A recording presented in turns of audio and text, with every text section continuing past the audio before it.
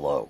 War of the Planet of the Apes is a 2017 science fiction film and the ninth installment in the Planet of the Apes franchise. It was made on a budget of about $150 million and took in nearly $500 million at the box office